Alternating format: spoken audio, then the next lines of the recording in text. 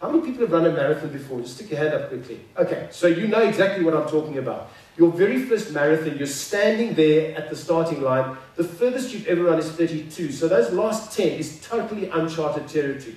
It was pretty um, dark and gloomy overhead. Anyway, so off we went, nice and slowly, went through the run. And the Pick and Pay Marathon is a double lapper.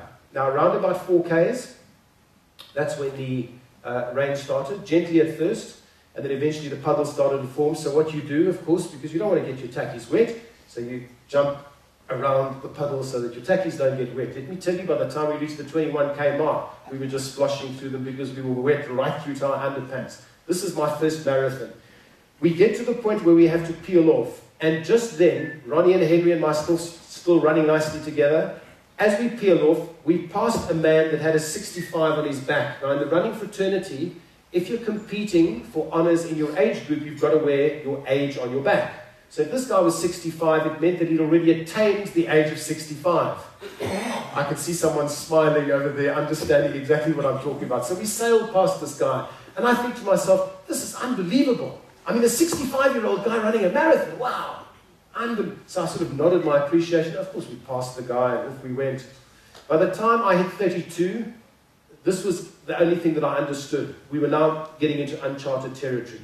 By 35 Ks, I was pretty close to death. By the time I reached 38 Ks, I must have been dead because my legs were so heavy. It, it, it's an experience which I cannot explain to you unless you've run a marathon and you prepared for it properly. At the 40k mark, the only reason I was still going was that Henry and Ronnie were with me and I couldn't let them down. At that particular point, the guy with the 65 passed me. But the way he passed me was so effortless and I just looked at this guy and I thought to myself, you just learned the biggest lesson of your life. Don't ever judge anybody. And finally, when we got to the final, that 42.2k mark, I turned around and I looked at Henry and I said to him, Well, that was amazing. We made it 19 seconds after our goal time, which was, in, which was 4 hours and 15 minutes.